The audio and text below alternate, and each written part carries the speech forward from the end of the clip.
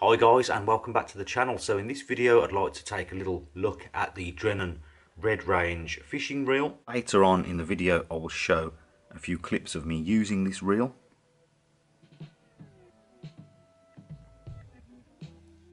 So I wanted to make a video about this reel because I've had it for probably six years now. So I've been using it for let's say six years. This is the, the feeder reel. You can also get the float reel. I did have that but I no longer have it and I'll, I'll go into that later on. But um, I just wanted to do a quick review and I talk about this reel. So this is uh, made by Drennan. It's called Red Range and it's uh, like a budget reel. It's quite cheap. I think I paid around 25 pounds for it with um, a single spare spool. So since then I've added another spool. So you can see I have uh, mine, I've got two spools. So I have one with eight pound, one with six pound and one with four and a half pound just to cover um, different fishing scenarios. So let's look at the reel. So um, first of all, I liked the colour of the reel. I thought it looked quite unique. And it has a nice feature where instead of undoing the one side of the um, of the handle it just flicks out with a latch.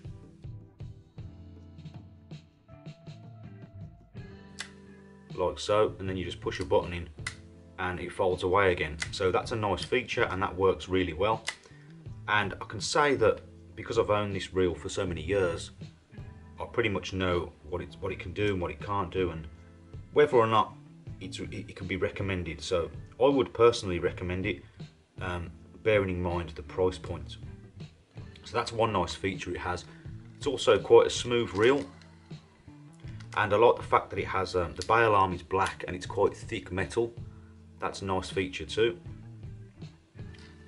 So taking a look at the spools this was probably the biggest reason why I bought this reel.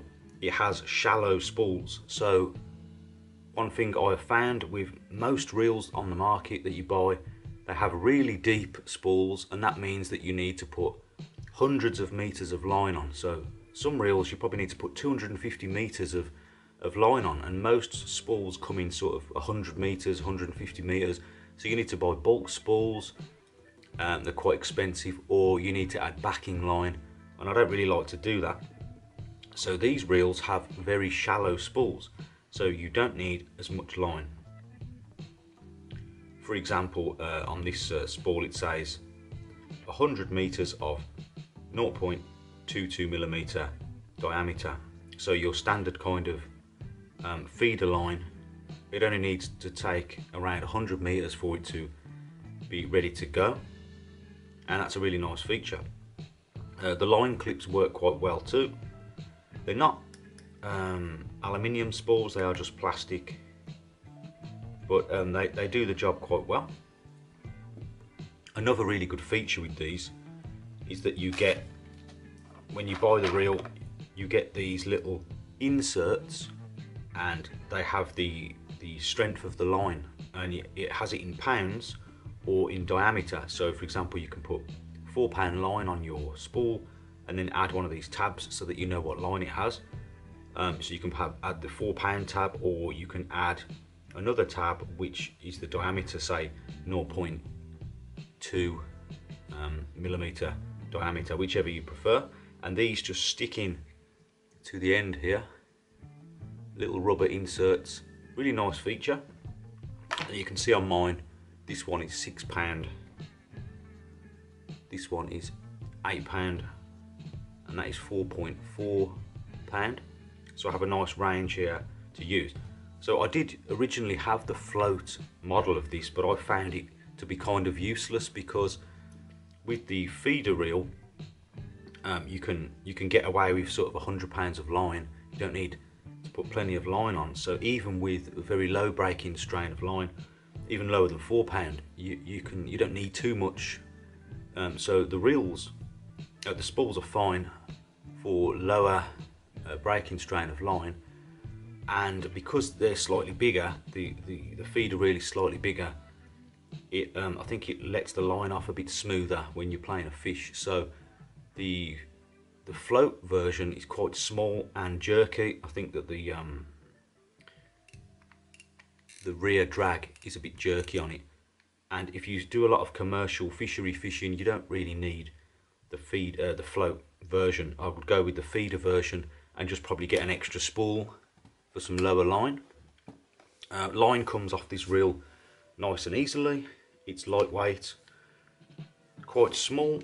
The uh, the back wind is nice and smooth, and then the anti-reverse is nice and sturdy. Um, the rear drag is quite good on the feeder reel. I wouldn't recommend it on the, the float reel. I don't like the rear drag. Nice and smooth. And it doesn't make sort of a loud clicking either. It's quite smooth and refined. Some cheaper reels have a really loud um, click when you're playing the fish. Um, the end of the handle here is rubber and it's not the kind of rubber that sort of disintegrates, it's quite nice rubber. So that's another good feature. And it shows you on the box here, just bring that closer. It shows you here that um, on the shallow spools, there's a little indent where when you tie your line on, um, the knot goes into the indent to prevent any bumps. So that's another nice little feature it has there. And there's a little diagram of how to, um, to load up your spool so that you can get it just right, not too much line or not too little.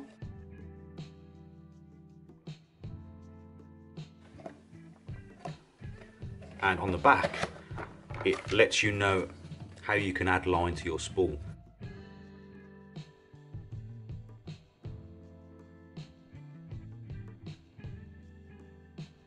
So um, great if you're a beginner and you just want a basic reel that does the job.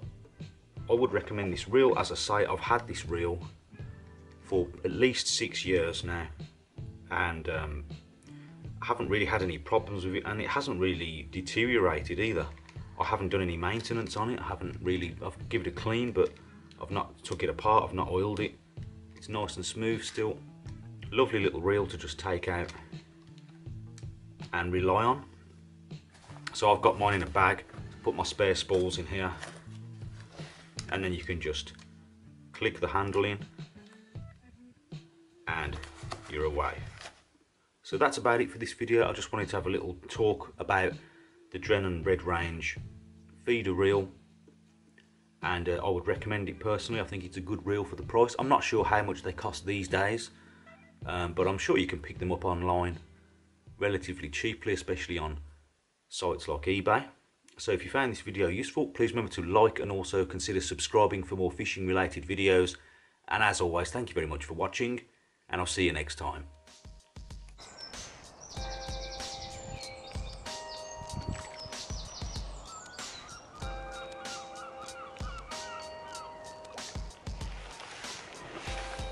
A little common carp.